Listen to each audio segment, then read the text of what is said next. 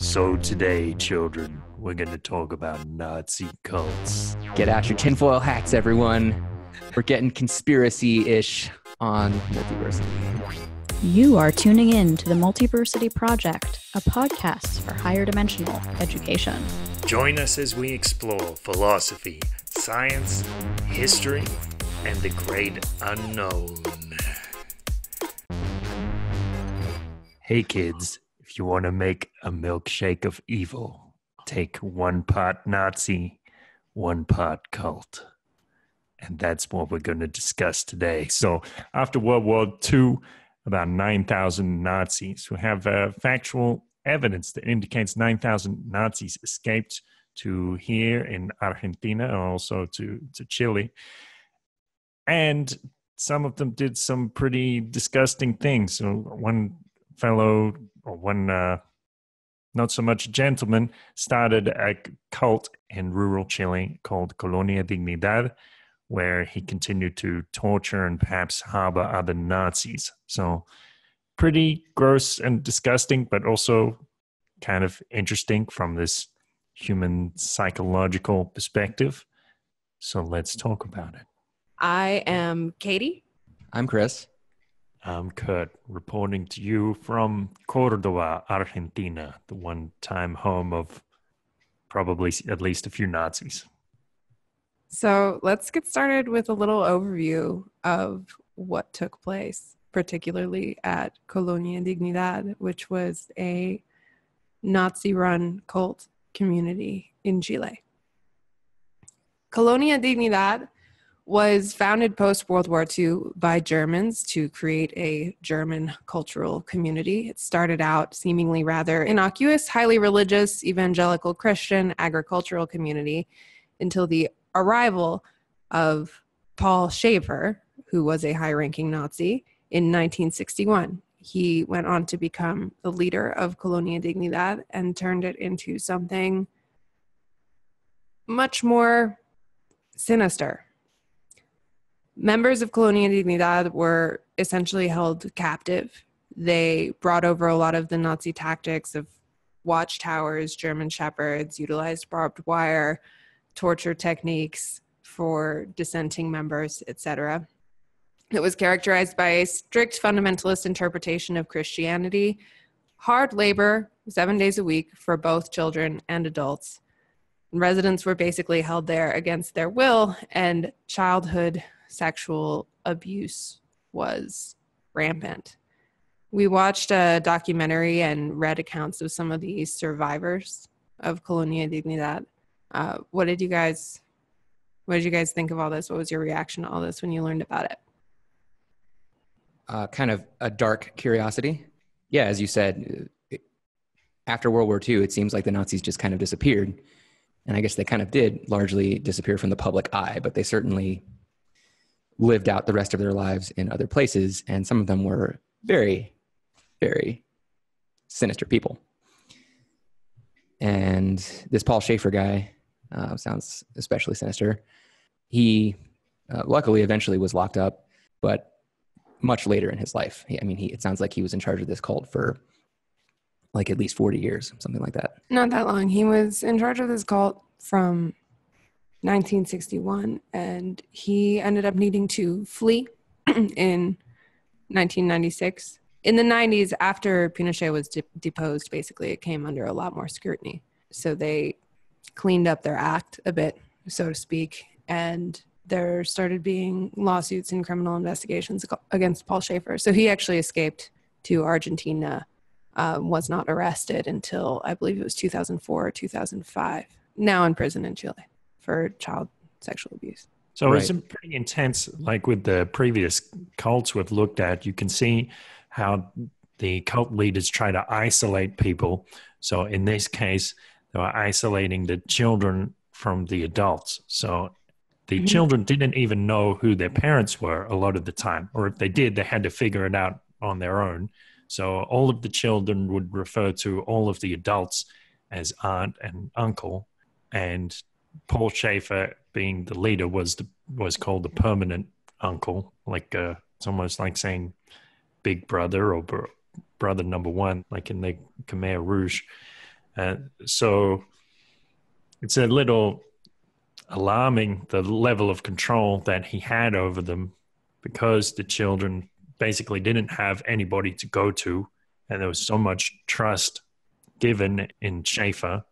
So it was like a highly centralized system. And so that al- allows this kind of abuse of power.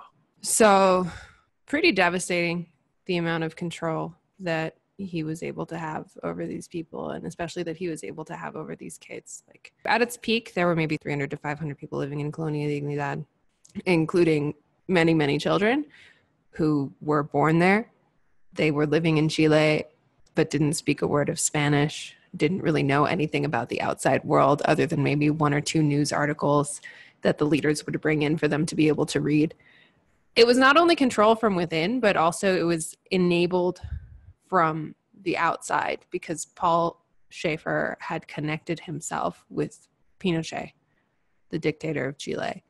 And having this horrific compound within the borders was actually very useful to the dictator. And I think that's a lot of what allowed it to go on for so long. I mean, there's evidence that Pinochet would send political dissidents to Colonia Dignidad to be tortured or disappeared mass graves have been un- uncovered there, old car parts license plate numbers belonging to dissident college students. Pretty horrific stuff. I noticed an, another parallel with Jonestown about the fake articles or fake fake news that they were promoting within the colony. So that they're presenting all this doomsday stuff like the outside world is just a mess, there's destruction, there's war everywhere, commies are taking over or whatever it was, just like w- with what Jim Jones did.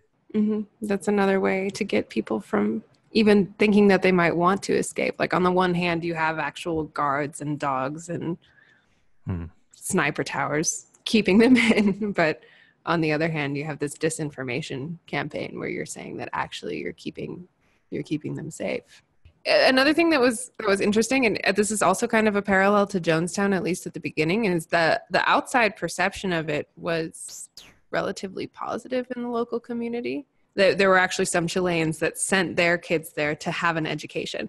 Yes. Again similar like with with jones he had his sort of pr scheme by buddying up with a lot of politicians in the case of Schaefer, he set up a public hospital just outside the community and had his doctors working there and everything. And they they actually, you know, it's kind of weird to think about. They did did a lot of good for poor Chileans who needed medical assistance.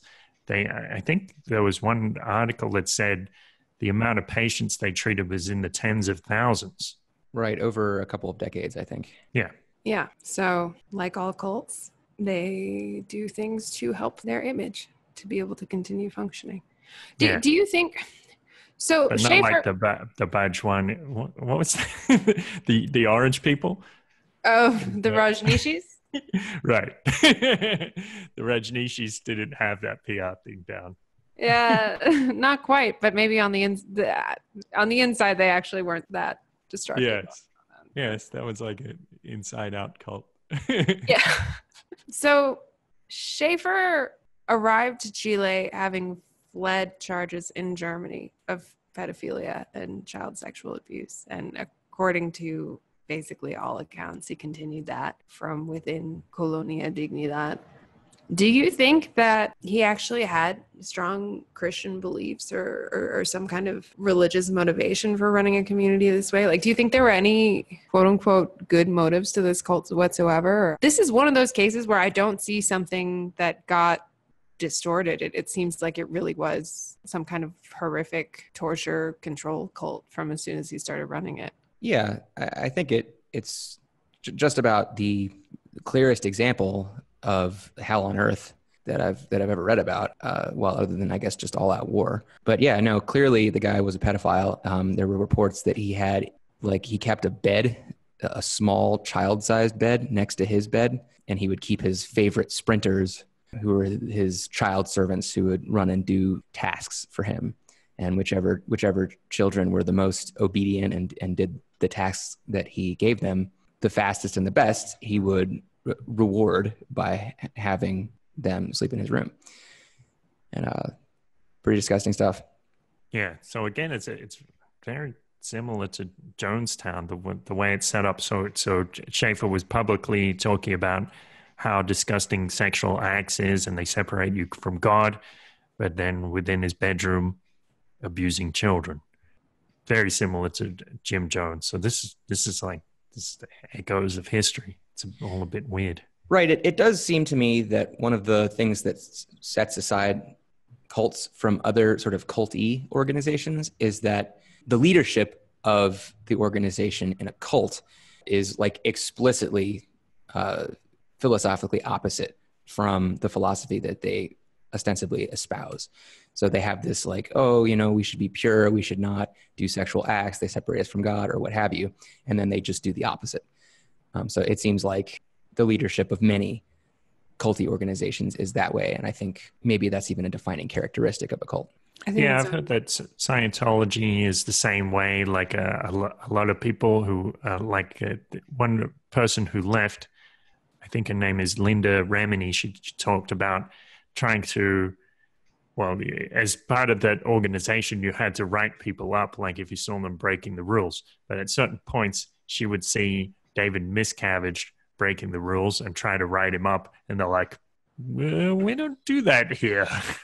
Yeah, it's it's so common that it's almost a trope of cult leaders having some kind of a harem, or often they'll write something into their own doctrine so they can have multiple wives, or so that it's important to consummate with the leader, or, or something like this. I mean, these are personalities that want total control and everything for themselves. Well, and I think this is the problem that a lot of um, sort of libertarian types have with government in general, or or or just anarchists in general, because they see that you know the, the rule. There's a small subset of the population that the rules don't apply to. I think that really is corrosive to the proper functioning of a society or of a community when it's clear that the leaders of the organization who are forcing everybody to follow this code are themselves not beholden to the code.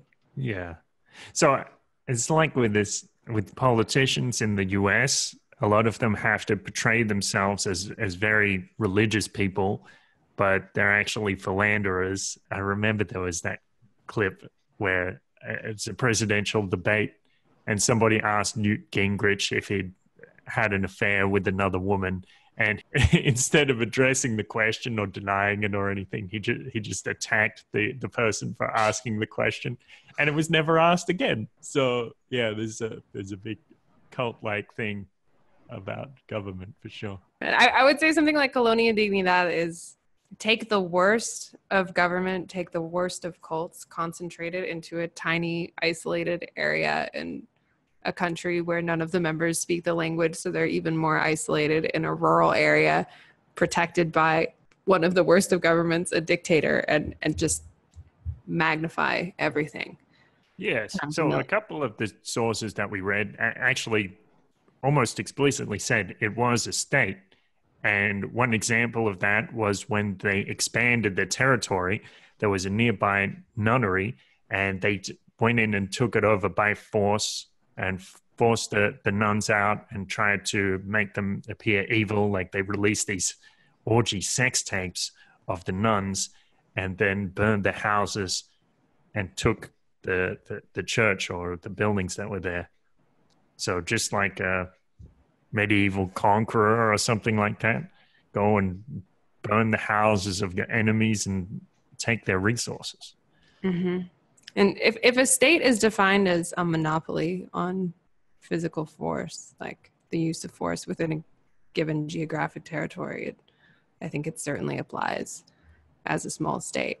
And they had, I mean, maybe you wouldn't call it a police force, but they had guards enforcing the rules. They had their leader. They had a, a work program. Yeah, I, I don't know. It wasn't a taxation system. It was basically you could call it a commune, but really it was like a forced labor camp. People were working 14 hour days, seven days a week from the point of childhood. It was completely all encompassing. It was self sufficient. Everything included. Yeah. so interestingly, Colonia Dignidad didn't really disappear. after Pinochet was ousted in 1990, it came under some more scrutiny. People started being able to leave. Some of the former members started speaking out. Paul Schaefer had to flee, as we said, when he started coming under legal scrutiny.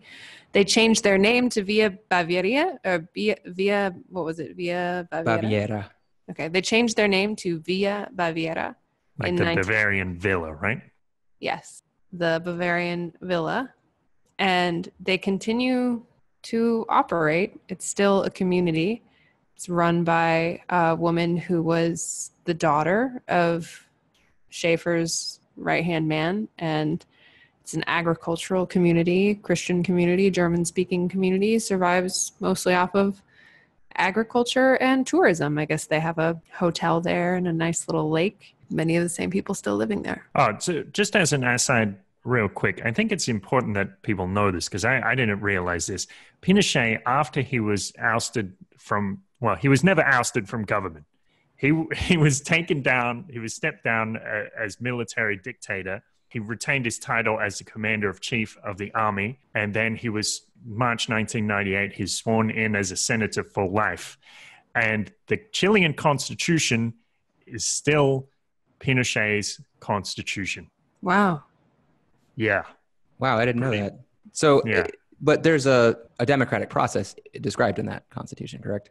uh, Yes. The, the way that I heard that he was ousted from power is he was essentially voted out of power because he lost the democratic election. Yes. So he opened the doors to, to democracy and the people voted against him ultimately. But uh, the, the Constitution still has certain things which are a, a bit weird. I'm not, a, I, I don't know too much about it, but they have certain things that maybe a democratic government shouldn't be able to do. Interesting. I was not aware of that. Pinochet is an interesting dictator because I hate to say this, but Chile went from being a very poor country to a very prosperous country under his rule. And since then, I would never suggest that the ends justify the means in his case, but I think that Pinochet's reign is maybe one of the most classic historical examples of the question. Uh, Like, do the ends justify the means? In his case, Hmm. the means being torture and disappearance of dissidents. He's famous for rounding up communists and throwing them into the ocean out of helicopters. Here's a, here's a weird thing. You know, there are still Pinochetistas in Chile today. And I, actually, a friend of mine is a Pinochetista, but I never had the courage to ask her what exactly does she advocate. Wow. Yeah, Yeah, I mean, I think it's just this kind of far right philosophy where yeah, yeah. you know, like we- pull, pull yourself up by your bootstraps, kind of thing. I think Yeah, that's what.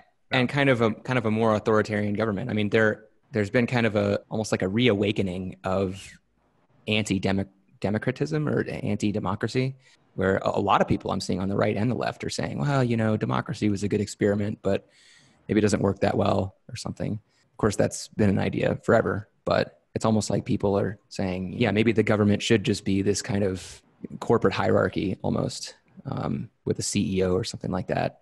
And maybe that's the best way for a country to get stuff done. So maybe that's not what Pinochetistas believe, but that's kind of how I see their their philosophy or sort of the far right philosophy.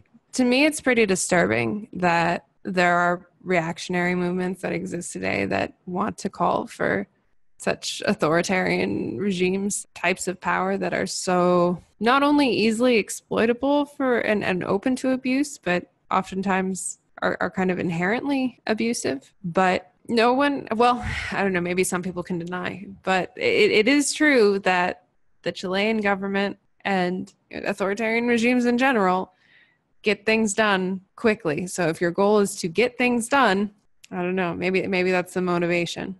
That's an interesting thing. I've heard people make the case that what happens when a gov- government seizes control of industry, like say in, in Nazi Germany, maybe for, for the next 10 years, there will be a lot of innovation because it's, it's centrally controlled and it becomes efficient, like this sort of military, strongly hierarchical model.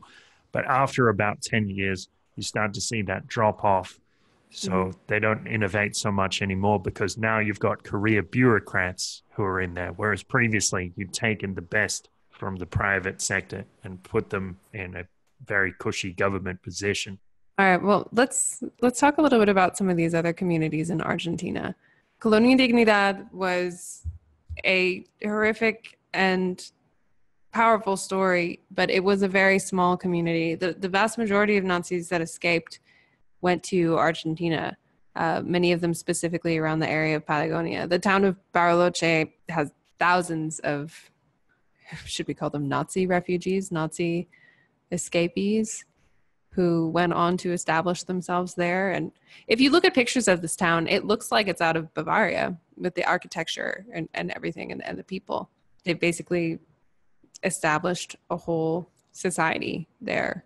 And we're not just talking about random Nazis, we're talking about people like Mengele, Adolf Eichmann, who was kind of the architect behind the Holocaust. These people went on living. Kurt, have you seen any influences, any any German influence since you've been in Argentina? Yeah, I mean there are there are people around who could be German and you wouldn't know, and I think some people even have German last names, but it's not necessarily about Nazis. I mean, Chile and Argentina have had connections with Europe for a long time. So, especially Argentina is seen as the Europe of South America.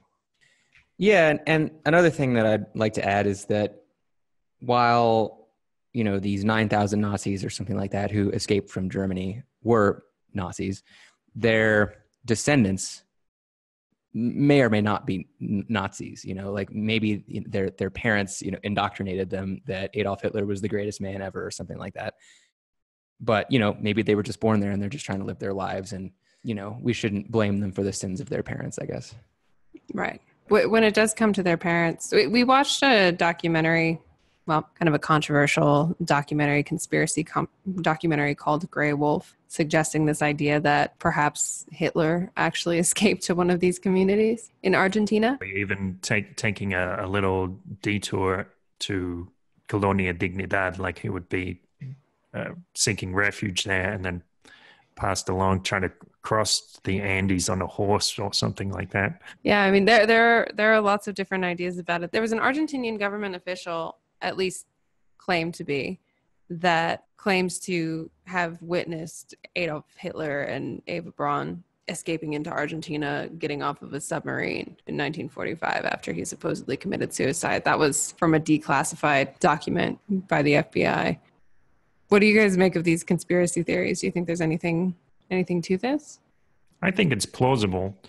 So it's kind of funny when, say, you read that Wikipedia article talking about conspiracy theories about what happened to Hitler, and it kind of poo poos the the whole thing. It has this this perspective towards the mainstream or the government accepted perspective. Like the FBI is like, no, nah, never happened. You know, there's nothing to back that up. But the, the evidence that Hitler actually died in a bunker is actually pretty slim. So there used to be some fragments of a skull. People said that was Hitler's skull. When they finally tested it, it turned to be the skull of an old woman. They did apparently find some teeth, which, mm-hmm. according to Hitler's dentist, matched the dental records. So that's that's something. But you know, you can survive perfectly fine without teeth. So who knows what that really means? when I mention it to people here, not that I have a big sample space, but I, have asked two or three people, do you think it's plausible if, if Hitler escaped here? And they're like, yeah, why not? why not? You know, if this was a man of, of resources, he was respected within his circles. Of course, he had access to military. It wouldn't be surprising if he could get access to a submarine and travel across the world. So, yeah, why not? Yeah, I read that that Wikipedia like conspiracy theories about Adolf Hitler article um, that you mentioned, and it did seem really like unnecessarily dismissive of the evidence. It was like some people think this, but this was thoroughly debunked by this one guy, and it's like, who's this one guy? you know? Well, okay, so they did find it wasn't just individual okay. teeth; they found a a jaw that had teeth ah. that a dental expert compared to X-rays of Hitler's teeth and said that they match. Okay. So yeah, fair enough. So that's that's something. Yeah. Yeah, it's it's it's something a little bit more. Hitler was yeah. known to utilize body doubles, and also it seems very possible that something like dental records could be mistaken, or maybe the x ray that was thought to be Hitler's wasn't actually Hitler's, or, or, or who knows? I, I don't think it's such a crazy idea. I didn't find extremely strong evidence either way, but I agree with you guys that just to dismiss it seems a little bit premature. Yeah. So with the the Grey Wolf documentary, it had this supposed testimony from a, a, lot of people from Hitler's doctor when he was in his advanced years.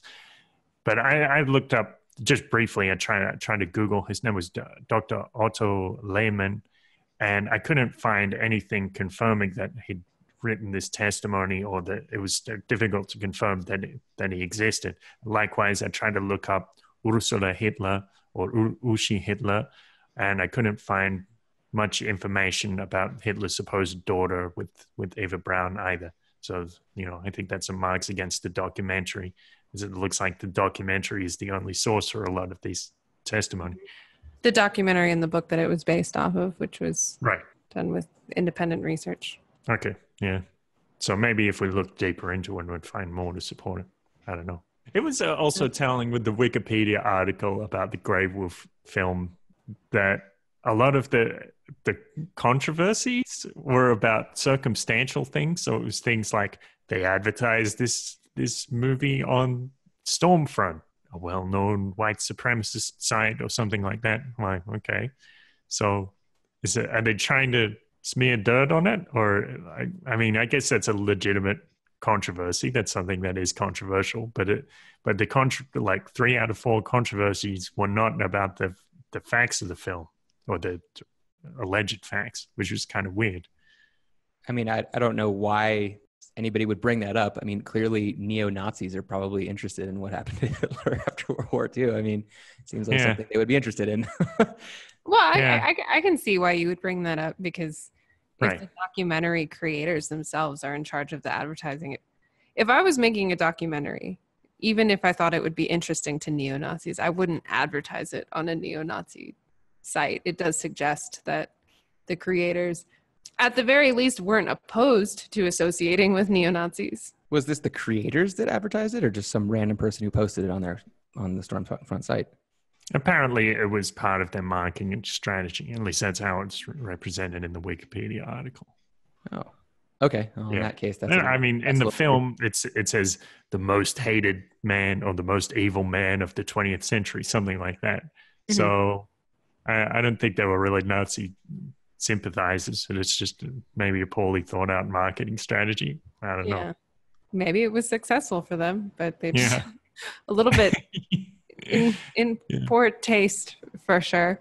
I wouldn't mm. say that the documentary seemed very authoritative, having watched it. It, it was well produced, though. I, will say that. I mean, they got the Argentine accents and everything. Uh, a whole bunch of actors. The acting seemed quite good costumes and everything. Might be worth watching for conspiracy buffs out there. Yeah, worth watching for entertainment purposes anyway. And I, I do think that these ideas that maybe Hitler didn't commit suicide are worth looking into or, or thinking about a little bit because honestly, other than what the government says, the evidence doesn't seem extremely strong either way. Yeah. Well, it's kind of funny actually, because I remember when when I was growing up, there's a popular conception that nobody knew how Hitler died. And now it seems like it's supposed to be established fact that he committed suicide. So I don't know if I was just out of the loop or what. Yeah, if you look it up now, there's a there's a bunch of headlines from the Smithsonian and several other publications that are like conspiracy theorists debunked. Dental record analysis proves that these Hitler conspiracy theories are 100% false. It's obviously very... the Smithsonian visited Argentina. Yeah. I mean, this is what they say about, you know, 9 11. So just goes to show how, how authoritative they are. well, you you would have to back that up, Chris. you, you can't leave, let that dangle without. without uh, it, would, it, would, it would take more than the, the rest of this episode to explain. Okay, that. that's true. research, research it for yourself, though. All right. So the the point is that you don't believe that 9/11 wa- uh, went down according to the official story. That's that's what you're saying. Yeah, no, the thing that convinced a lot of people that that you know um, the official story was true, which is crazy, is that uh, Popular Mechanics came out with an article and was like, all of the other possible you know explanations for what happened on 9/11 are definitely debunked, and this is why. And it's like, okay, so Popular Mechanics Yes. and like and maybe like the Smithsonian too. I think. kind of you know government mouthpieces and it's like okay well obviously the government's going to come out and say you know our story is true that doesn't mean it is yeah. Well, when you have a lot of resources behind it, you can kind of buy the facts, right? yeah if you have enough control over uh, the media and or, yeah or yeah if you have enough funding you can i mean this is this is a well documented fact in marketing that you know the more Mhm. times that somebody sees a thing the more believable it becomes in their mind so the more funding you have the basically basically the more times you can have your version of things appear in front of a general audience and the more true the general audience will think your statement is uh, regardless of its actual truth value Yes. I think we should say it takes a lot of assumptions to because it, it's not just about the plausibility of how the buildings fell. It also, if for 9 11 to be a conspiracy, would take the collusion of hundreds, if not thousands of people. And it, it takes a pretty extreme level of dis, distrust of government institutions. Not in just a way that they spin things in their favor, but they straight up fabricate things or possibly even murder their own citizens. Like it, it is kind of a, it's kind of a stretch. It's not Yeah. just, Well, it's it's funny the way you phrase that though, because if you're going to say it's a conspiracy, well, all of the all of the theories about it are conspiracy theories. Exactly. It's a- the mainstream yeah. theory is conspiracy theory. So Yeah, uh, it's a but yeah, conspiracy that a bunch of Saudis and you know Hmm. Osama bin Laden and maybe some people from other countries, they all conspired to fly planes into buildings and knock them over. Hmm. Uh, so that's definitely a conspiracy theory. Yes, they're all conspiracy theory in that sense of the word, but I think we know what I mean. Like for the narrative to be false would would probably require a much bigger conspiracy within the US government. No, it wouldn't. Uh, the government releases statements that are lies, you know, as as a routine. like that's that's something that is is well documented. like the FBI will put out something that's just false, or the CIA will put out something that's just false, or the media will you know parrot something from the government that's just false. I mean, this is something that they do as a matter of routine, as I said. That's a really big claim. I mean, there's Is, is it though? Tons I- of evidence. know. I mean, we all- we all know that governments lie, right? I mean, I mean, maybe that maybe that not everything that government's saying. remember is the a lie. weapons of mass destruction thing. right? Yes, That was a lie. that was a lie.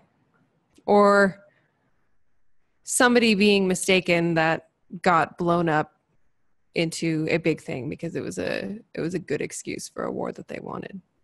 I mean, there are plenty of other lies too, like the Gulf of Con- Tonkin disaster. And Remember the NSA saying, "Oh, we don't spy on Americans." Yeah, and every time Fair. Snowden released a new leak, they would they would backtrack and be like, "Oh yes, it is it is a bit like that, but you know it's all fine." And then they they'd release a little more, and they'd have to update their position. So that Yeah, was no, really funny to watch that.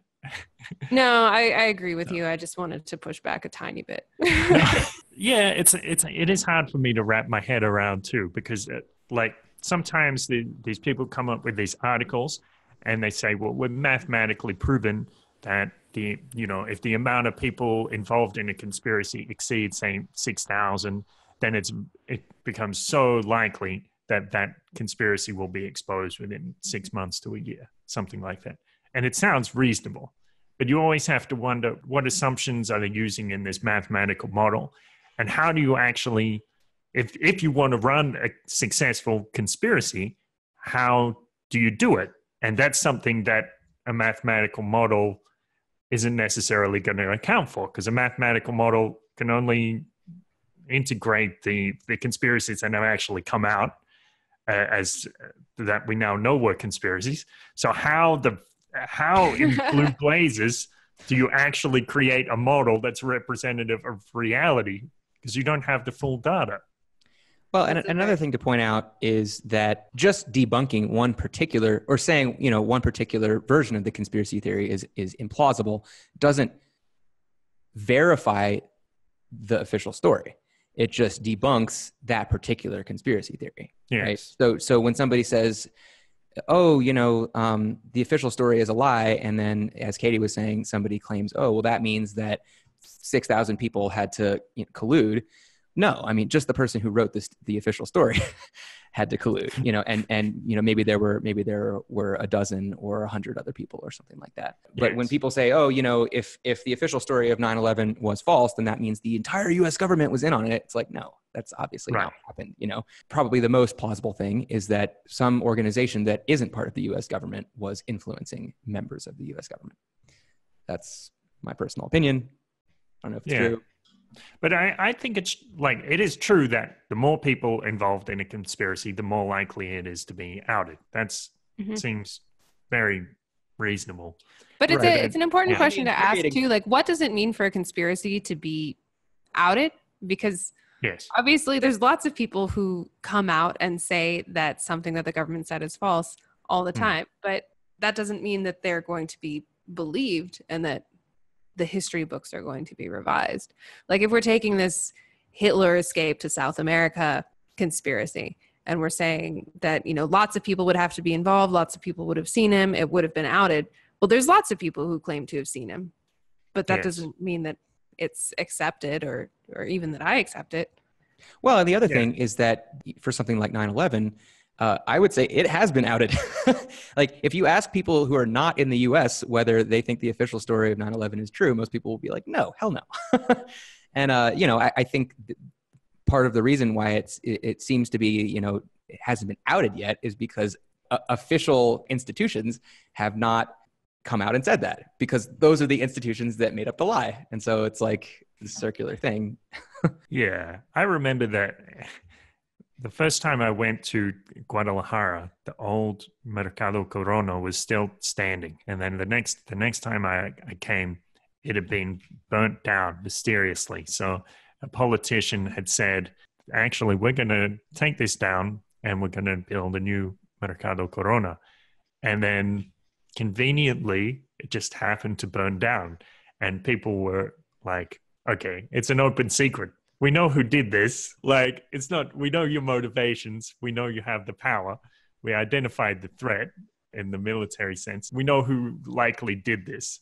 But then there were people in the streets protesting and they're holding up signs like saying, we want a state inquest. We want an inquiry uh, to find out what really happened with Mercado Corona. And I was like, oh, you're a bit idealistic there. Like, you think that people who, who were involved in this supposedly involved in allegedly involved in this crime are going to reveal their own crimes and that's not going to happen not for a while at least I guess the Likely interesting not. question on the Hitler escaping to South America thing is that, as Katie mentioned, there is actually an FBI report. I think it's an official report that talks about how it's likely that this happened, that Hitler escaped to South America. And I guess the question would be why would the FBI be interested in covering that up? I think that from the American perspective, it sounds a lot nicer if you have a clean end to the story. We won the war. The evil dictator committed suicide. He's dead. The fact that the US government was still looking into his death and the FBI was potentially searching for him for years after he was supposedly dead doesn't look so good given that they came out with the story that he committed suicide in 1945. Interesting. So they have to have this other lie in order to cover up their original story, which was Yeah. also a lie. Well, maybe it wasn't a lie. Maybe they maybe they thought it was the truth, or maybe or they just didn't know. Initially, thought it was the truth, or they didn't know. But it's much cleaner. It's much cleaner, and I, I do think that one thing that people like when they're constructing a patriotic narrative, which World War II has turned into a big patriotic narrative for the U.S., is they they want it to be clean and tidy. They don't want to talk about the fact, well, maybe these guilty people actually escaped. Right. I, I could I could see the the U.S. government wanting to avoid having to say I don't know. You know, they want to look certain about everything. Mhm. You know? So they're they're much more likely to just make something up and then back it up, like double down on it later when it turns out to be false, than to just be like, we don't know. Do you think that there are other possible motivations?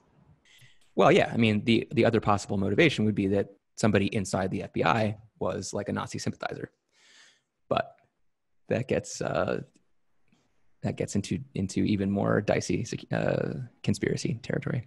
Well, it's a little bit more specul- speculative and definitely dicier, but there certainly were plenty of Nazi sympathizers in the US at that time. And it's pretty well known that the US brought over a lot of Nazi scientists to do research in the US afterwards. Yeah, definitely. Yeah. So Operation Paperclip, right? That sounds right. Yeah. Operation Paperclip was a secret program of the Joint Intelligence Objectives Agency, largely carried off, out by special agents, in which more than 1,600 German scientists, engineers, and technicians were brought to the US in the 1940s and 50s from the Nazi Party. Yeah. So, I mean, I'm guessing that that would have been really, really negative publicity if that had gotten out. yeah. so, that, there's a motive for a cover up. So, what do you guys think are the effects of these kinds of things long term on society when you have isolated groups of people coming from an extremist ideology who basically found their own town? Do you see that echoing in South America at all? Or like Chris said, do you think they have normal kids that go on to lead normal lives? They get out of the Nazi party and life moves on. I think so because it's somewhat similar to how immigration normally works. So when you have people come over as immigrants, they bring their own culture with them.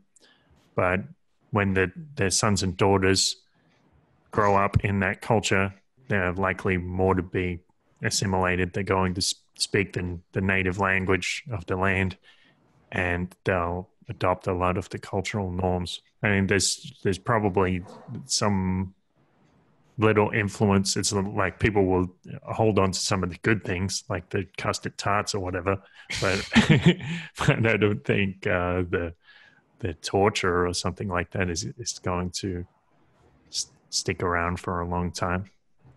Yeah, I mean, I think if you looked at, at what happened to Colonia Dignidad after Paul Schaefer left, I, I think that's kind of what happens. You know, you, you remove the psychopath from the community, and then you have this kind of leaderless community that probably just kind of flows into the surrounding culture over time.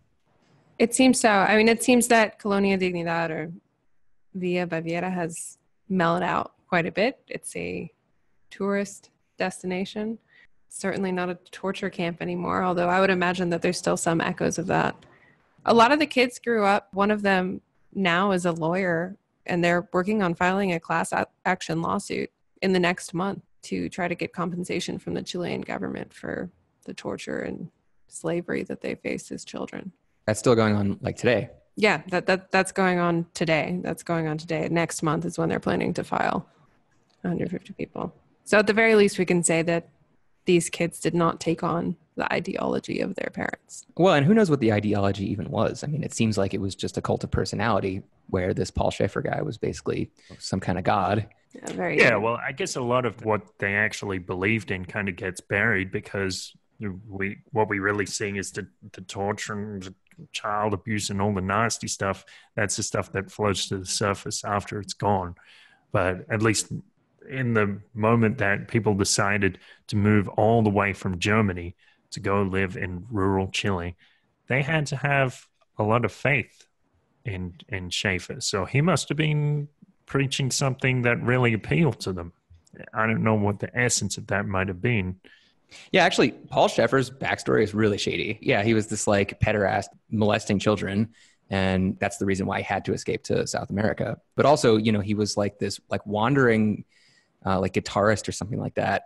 And then he just started preaching and, and he just started gathering this following of people. And then he ended up, they would pay him 10% of their earnings. Uh, think. Yeah. And then from that money, it's, it sounds like he, he acquired the means to get that land in, in South America. So it's definitely weird how there's so many links with Jim Jones in terms of Schaefer's methodology, but it turns out on the Wikipedia page here, there's actually a, link in the lineage. So it says here Schaeffer followed the teachings of American preacher William M. Branham, one of the founders of the post World War II healing revival, who is on, also an influence on Jim Jones. The source here is uh, this uh, research about Colonia Dignidad and Jonestown by John Collins. So there's actually some a lot of research on the links between them. Well, and they both did choose sort of rural South America to set up their evil dominions. Yes, and both because they were facing problems with the law. Right, exactly. Very interesting. Colonia Dignidad, almost 20 years before Jonestown. Like looking back, thinking about the documentary on Jonestown, the setup with the watchtowers, the loudspeakers, things like that. A lot of that is very parallel to what was going on in Colonia Dignidad. It makes you wonder if Jim Jones studied Schaefer as an example. But while Schaefer was a Nazi, Jonestown was all about racial unity. The majority of his followers were people of color. Yeah, they So definitely had, maybe they had Jones different. was secretly a Nazi and he believed in racial superiority, and that's New why. he- conspiracy theory. Get out your tinfoil hats, everyone. We're getting conspiracy ish on multiversity. So, in looking through all this and some of the cults that Nazism manifested later, I was thinking that Nazism could be seen as a cult in general in many ways, but with the charismatic leader of Adolf Hitler at all. Do you see Nazism as an example of a large scale cult that overtook a country? Absolutely, yes. And I, think that you can see this in other countries as well, North Korea, for example.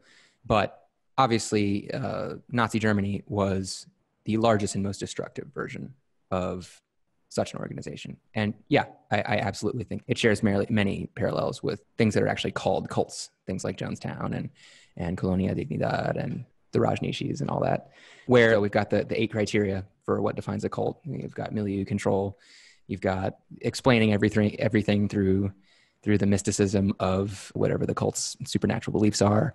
So yeah, no, I, I absolutely think that Nazi Germany was a very, very large and very, very powerful manifestation of a cult. Yeah, well, that's a thing that a lot of governments do when they want to go to war. They say stuff like, "We will win because God is great," and that's obviously that's a logical fallacy. That's uh, non sequitur, but it's also this mystical manipulation explanation for things. Yeah. In this case, the god was almost the race, the people themselves. And all you had to do was demonize a certain group of people, blame all of the problems there. It's easy to get a lot of people on your side when you create almost a religious like ideology where you are the good and someone else is the enemy. Well, you know, going back to what you were talking about, Katie, with how right wing dictatorships tend to get stuff done really fast, I think that is I think that is true, and and I think the reason for that is um, partly because there's this common enemy thing, which uh, of course is usually very destructive. But like, think about when there's a mosquito or something like that near you. Like, I, I, maybe you don't do this, but for me, I'm just like, I gotta kill it. I gotta kill it now. And like, it, like it focuses your mind like nothing else. It definitely seems to be exploiting human nature in that way. It taps into our tribalism. It taps into some of our deepest, most base instincts and exploits them for horrific ends. Yeah, for sure. Kurt, do you have any thoughts on Nazism as a cult? Okay, so we, I, I should note that those eight criteria for thought reform are actually based on analysis of Maoist China. So I guess it's not surprising at all that we would see parallels between those and Nazism. Of course, it's interesting that we see a lot of those things in, in cults as well. So it's like how to control people on a large scale. Here's the handbook, basically. so, yeah, I guess you call that a cult. Yeah. Yeah, well, I guess Maoist China was, and still communist China is kind of culty. Uh, I mean, obviously, the, the eight criteria were written about that, and it is it, it is much bigger than Nazi Germany. I mean, it's a billion people uh, versus I don't know, 100 million people, something like that. But they're very different. You know, one is leftist and not militaristic. Like China doesn't. I mean, have have, have they gone uh, and tried conquering other? I, I guess they've been kind of a little bit militaristic, uh, and like territorial, trying to take more territory for themselves. But it seems like they're more of like a leftist cult, whereas Nazi Germany was more of a rightist cult. Yeah, I suppose so. But you know what they say getting kicked in the face, it doesn't matter if it's a left boot or right boot. Yeah, I'm just saying, like, I think the the right Yeah. wing, the right wing philosophies tend to be a bit more militaristic, a bit more aggressive. Aha. I see. Yeah. Well, China has this uh, different perspective, I think. It's, it's just a long traditional thing, and I might never understand it fully, but they're, they're more focused on one China. So, like, for example, with Tibet, they don't care if Tibet wants independence. They don't care. Um, other parts of China also want independence, and the government attempts to marginalize them and shut them out and demonize them. At least that's that's my interpretation. So all they want to do is maintain what they have. They don't necessarily care about conquering more. I guess they've already got a huge kingdom or a huge amount of land there. I don't know why China is seen as among the Chinese or among the, the traditional rulers of China. I don't know why it's seen as a sort of holy land, but there's definitely some factor about that. Thanks, Kurt. Thank you. Yeah, it's interesting that we don't often look at governments as being cults, and yet the very institution that the criteria we use to determine what is and is not a cult, those criteria were developed in relation to a government itself. There are probably, well, there are many parallels in even countries that we consider much more normal this was a challenging topic to look into just because it was it was so so dark thank you for joining us in illuminating one of the most disturbing concentrated patches of horror in history that i've ever heard of The moral of the story is don't be a Nazi cult. Thank you for joining us on the Multiversity Project. We hope you found this episode both mind bending and enjoyable. We can be found all over the social media space and at multiversitypodcast.com. If you like this content, give us a like, comment, follow, share, or support us on Patreon. Catch you on the flip side.